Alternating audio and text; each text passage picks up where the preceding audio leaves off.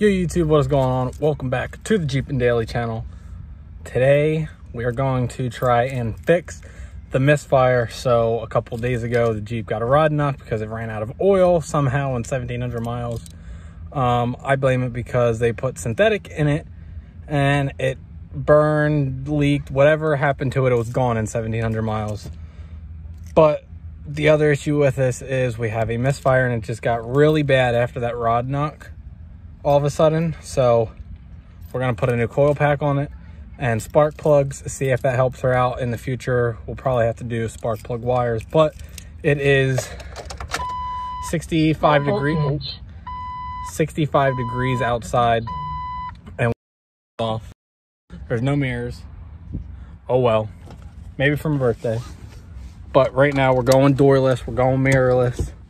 Let's get to the shop and get this thing running right.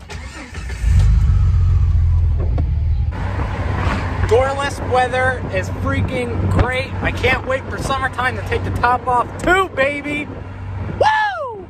I can't wait for summer to go off-road with the doors off, with the top off. It is going to be great as long as the Jeep runs magnificent. I can't wait for it. And I can definitely not wait to get this lifted.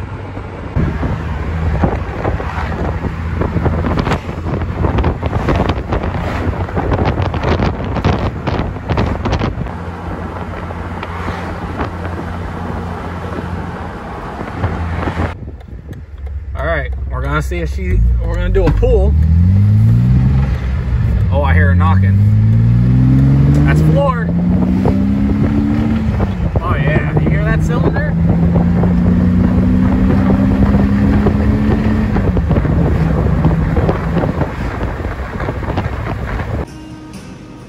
All right, so before I forget to record any of this, we jumped right into it. My dad just put me on this right when we got here.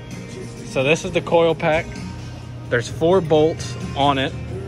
Uh, they were 13s, so four 13s you take off, and then you pull that up, and there's a little connector plugged into it. So you take that off, and the coil pack comes off. But before you do that, before I forget, you have to take off your intake tube, your manifold tube, whatever you want to call it. But now we're into getting the spark plugs out. So there's spark plug one, five more to go, and now we're gonna inspect all of them. All the spark plugs are out. This was number one, number two, number three, number four is this one. This one was number five, and this is number six. So the further down we went, starting from front to back, I feel like the worse they got. Now, I read NGKs, people don't like running them in their Jeeps. I read it on the Jeep page. A lot of people were talking about them. My dad said you should put champions in them. So he got me six champions. We're going to put those in the new coil pack.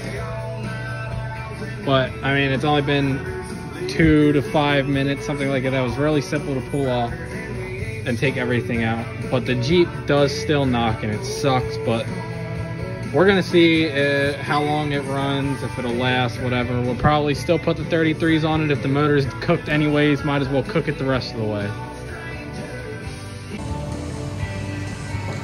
Now, if you've never done spark plugs, you have to gap them a little bit. This Jeep tells you somewhere on here, where did you, did you just find that? Oh, right there it is. My YJ with the four banger was the same way, but if you're wondering, where's it at? There it is. Specific tools. Where's the thingy? There it is. Oh, thought you were done with it.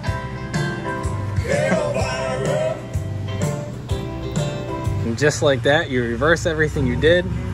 Spark plugs are in. Coil pack is in. Oh, that should not be in there. Gotta put this back on now. Plug everything back in.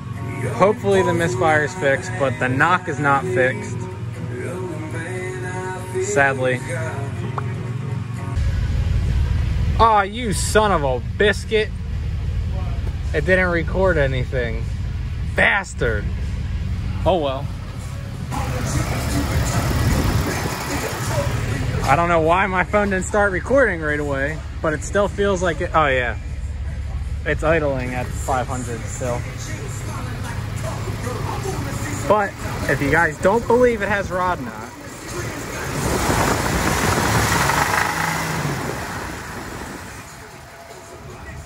you can't tell me you don't hear that.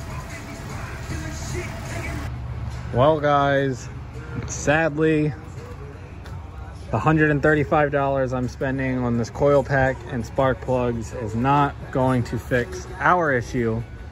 My dad plugged the scanner in. There's multiple misfires now. There is, it said, I think it said something about the cat.